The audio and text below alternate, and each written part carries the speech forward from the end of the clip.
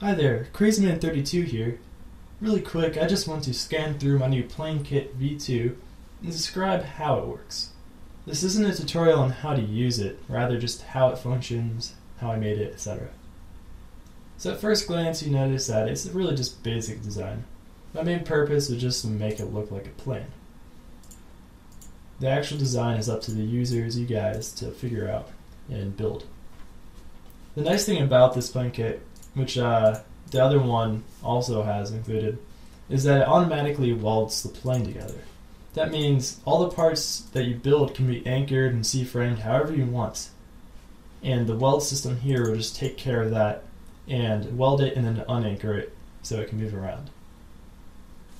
This script here also controls the regeneration of the script of the plane automatically, so you don't have to deal with anything.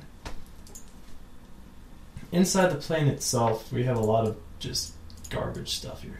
I shouldn't say it's garbage, but it looks like mass chaos.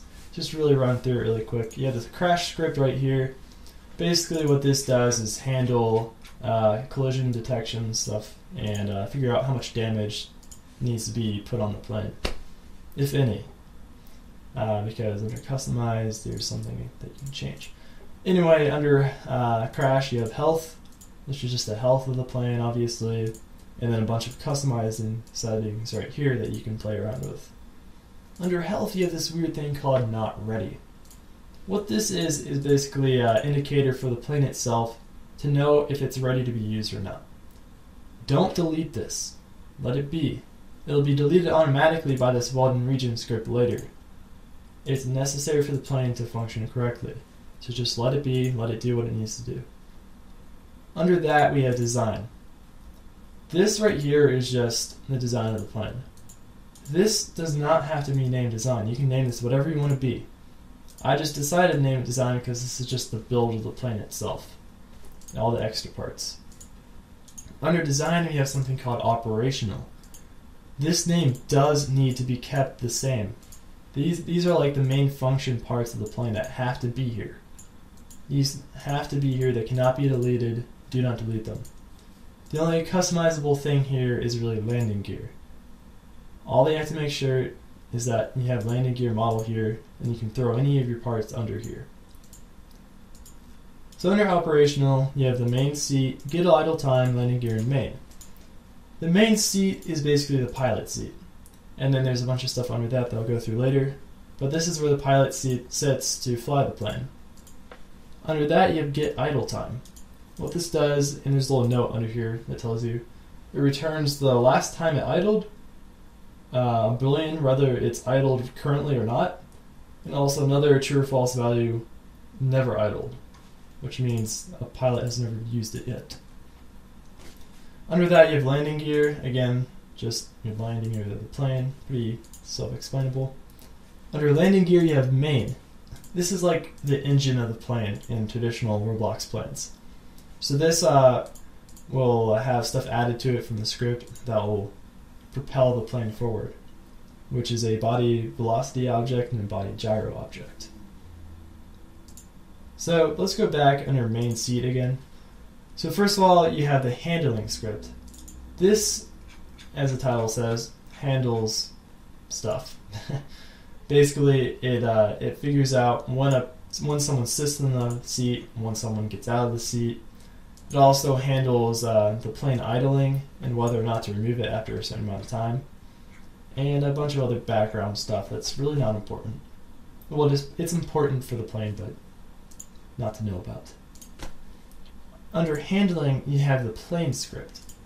This is like the main thing in the plane, obviously. So this controls the flight of the plane, the operations of the plane. Under plane, you just have a bunch of other stuff. Force remove and the thing under it, this is just used uh, to indicate when the script needs to be removed. That way the script can run through basically a shutdown process before it's actually removed. Uh, under that, you have a plane object value, which is also just handled by the script itself. And then you have the plane GUI, the plane GUI, however you want to say that, the interface. This is what the pilot sees while he's flying. I highly suggest not editing this stuff. It's really built in solid into the coding of the plane, and uh, editing it might crash the whole thing. So just don't play around with that. You can add things to it, just don't delete things to it from it. And then last but not least, we have customize. This is just a bunch of things that you can customize yourself to make the plane work how you want it to work. There's also a README script. This is really important to read. It's a lot to read, but it tells you what each thing means and how it affects the plane. So if you really want to have an understanding of how to edit the plane, you must read this. Otherwise, you're going to be clueless. I'm sorry. So yeah, there's a plane for you. It took me about three or so days to make. That's around a thousand lines of code. Which, for a lot of people, a thousand lines of code sounds really impressive. But uh, if you get into like real software development, a thousand lines of code is really a small amount of code. So yeah, that's just an overlook of the PlaneKit V2. Uh, hopefully it works right for you guys. I had a lot of fun making this, and I hope I could, it makes an impact on Roblox.